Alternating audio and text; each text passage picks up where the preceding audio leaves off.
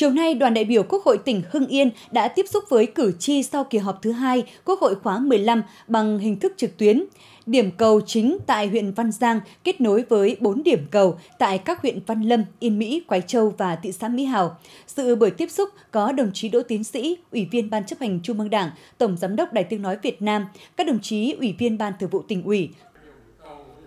sau khi nghe đại diện đoàn đại biểu Quốc hội tỉnh báo cáo kết quả nổi bật tại kỳ họp thứ hai Quốc hội khóa 15, các hoạt động của đoàn đại biểu Quốc hội tỉnh Hưng Yên tại kỳ họp, với tinh thần dân chủ, thẳng thắn, cởi mở, cử tri phát biểu kiến nghị tới đoàn đại biểu Quốc hội tỉnh một số vấn đề như đề nghị các cấp các ngành tháo gỡ khó khăn vướng mắc trong thực hiện dự án dịch vụ tại xã Phụng Công,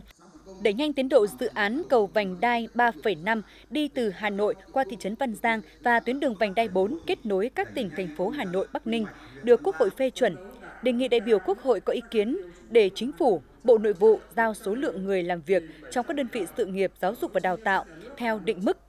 tăng cường công tác phòng chống tham nhũng, quản lý đất đai và xây dựng cấp phép đối với dự án nhà ở chung cư cao tầng tại đô thị, kiên quyết thu hồi đất đối với doanh nghiệp được giao đất nhưng không triển khai thực hiện dự án.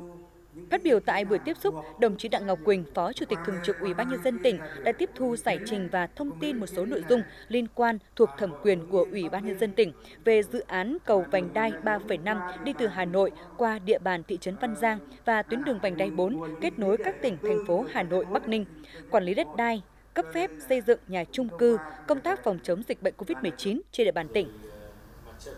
Thay mặt đoàn đại biểu Quốc hội tỉnh, đồng chí Đỗ Tiến Sĩ, Tổng Giám đốc Đài Tiếng Nói Việt Nam trân trọng cảm ơn và tiếp thu những ý kiến của cử tri các địa phương, đồng thời khẳng định các ý kiến kiến nghị của cử tri hoàn toàn xác đáng, được Quốc hội và Chính phủ quan tâm. Các ý kiến của cử tri sẽ được đoàn đại biểu Quốc hội tổng hợp gửi tới các cơ quan của Quốc hội, Chính phủ, các bộ ngành xem xét giải quyết.